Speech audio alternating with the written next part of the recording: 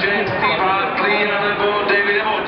Počkáme si na další průjev, dívejte se na to, opět jsou eh, na těsno. Eros, Lotus, eh, dále další Eros, eh, další Lotusy, počkáme si Tyrell, Barbar Benetton, je tam také Dennis Sullivan, Steven Zil, Michele bude to hezké v té druhé části pole, Steven Zil, Derek Daly, v roce 78, předtím Rapport kigen a další závodníci, ovšem Eros stále na čele v nájezdu na stadion.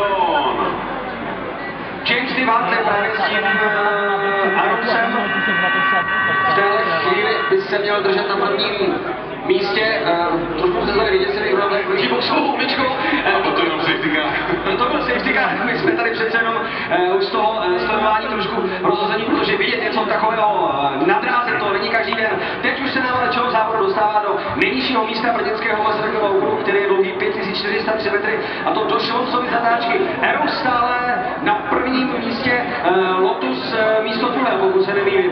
Ano a Simon Fish z Enzyme 180, ve kterém závodil Gian Claudio Clay Regazzoni na místě třetím a drží se za tím Lotusem, ve kterém sedí Gregory Thornton. První tři auta jsou poměrně blízko za sebou, jakkoliv Hartley nám do bátku vyjíždí, pak tam máme tři dvojičky, ale hlavně už tu budeme